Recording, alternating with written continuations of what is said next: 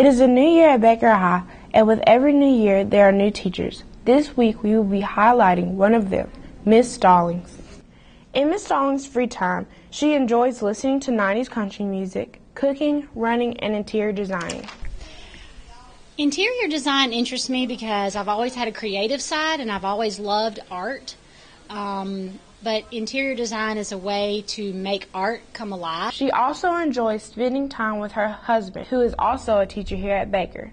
The students here at Baker know him as probably the loud teacher who loves to sing happy birthday to everybody, and he's always in a good mood and he is pretty much the exact same way at home. Mr. and Mrs. Stallings actually share a classroom together, but working alongside her husband is not new to her. We have always worked together. Our first job was at McDonald's, and we both worked there as managers, and then we moved to Cleveland, Mississippi, and we both worked at Wendy's when we were in college.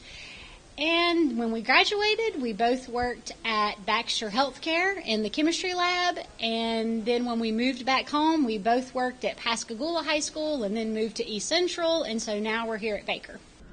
Another thing that is interesting about her relationship with her husband is that they got married in their senior year of high school at age 17. We were young and pretty much immature, and that's what we wanted to do, and our parents supported us. So we got married. From then on, her and her husband graduated from Delta State in 2001, and later they had two children. She taught for 10 years at East Central High School and is currently a floating teacher here at Baker. Being a floating teacher is different. Um, it took a lot of getting used to pushing my little cart around the hallways, being in other people's rooms, but honestly, I like it just fine. The teachers are really friendly. Everybody's tried to be very accommodating in every, anything I need. And I've also learned my way around the school better. So, Baker, let's make our new floating biology teacher feel welcome.